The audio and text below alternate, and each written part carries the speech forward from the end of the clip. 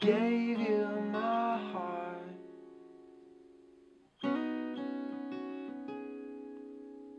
You used and abused it for your own good.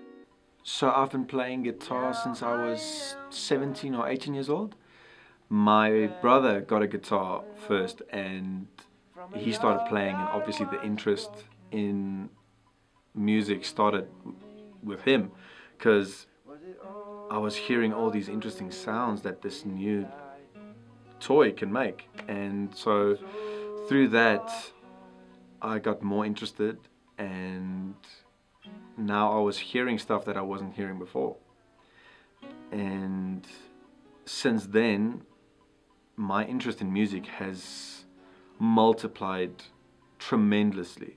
And so from 17 or 18 I've been playing guitar and that that spiked my music influence and I started to try all these new things on guitar and then finally I started studying music.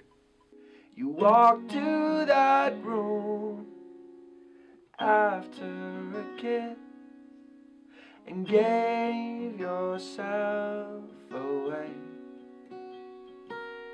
wrapped your legs around his waist. So my music influences has come from all the music that I listen to and I have to say for this album it's been people like Matthew Mole ranging to Alter Bridge and Gangs of Ballet, Sam Smith, John Mayer definitely and a little bit of Bon Iver and Ed Sheeran.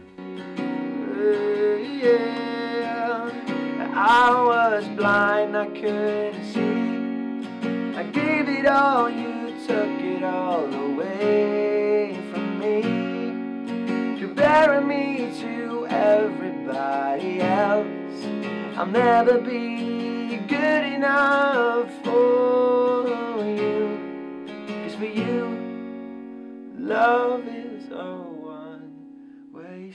So I'm hoping to have the album out in July, August maybe. So we're trying to finish all the all the stuff that needs finishing as quick as possible, as soon as we can to meet the deadline and hopefully end of July, beginning August, I hope to have this album on iTunes and hard copies and all that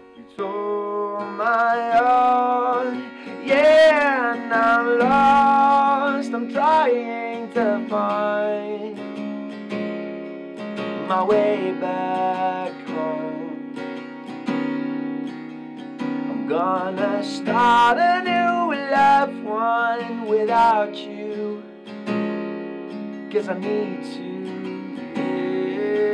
yeah, Cause I need Yes, I am on social media. Um, on Facebook, people can search for Van Wyk Brand Official. On Instagram, it's just Van Wyk Brand, and on Twitter also Van Wyk Brand because it's a very weird name, so very easy to find.